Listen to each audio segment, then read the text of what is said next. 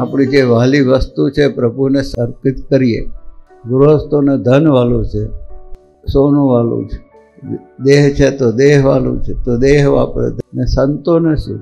સંતોને પણ પોતાની આવડત, હોશિયારી, પોતાની ટેલેન્ટ એ ભગવાનના કાર્યમાં વાપરવાની તો જ ગુણાતીત ભાવને પમાય. સાધુ થયા એટલે મોટું કામ તો થઈ જ ગયું નેવું ટકા, પણ દસ ટકા જે અંદર રહેલા ભાવો એને બદલવા માટે ભગવાનના કાર્યમાં રચ્યા પચ્યા રહેવું જોઈએ. સેવાઓમાં, ભજન પ્રાર્થનામાં, કથા વાર્તાઓમાં. અને નિર્દોષ ભાવ સ્વતું કોણ શું કરે છે, કોને શું કરવું જોઈએ, કોને કેમ ના કરવું જોઈએ, એ આપણો કોઈ પ્રોબ્લેમ નથી. જે બધા કરે છે, જે થઈ રહ્યું છે, પ્રભુ પ્રેરિત છે. ભગવાનને કરતા હતા પણ મને નથી ગમ્યું એ મારો દોષ છે. એ મહાત્મ્ય ભગવાન કહે છે, એવું મહાત્મ્ય હોવું જોઈએ આવું મહાત્મ્ય એ જ જીની કસર આપણી ટાળે છે. ભજન પ્રાર્થના કરતાં શીખવાડે, નમતા રાખે.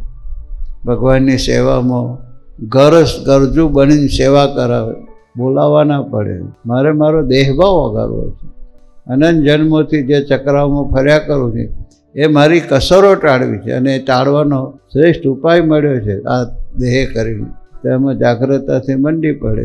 એ મહાત્મ્ય સાચું મહાત્મ્ય છે.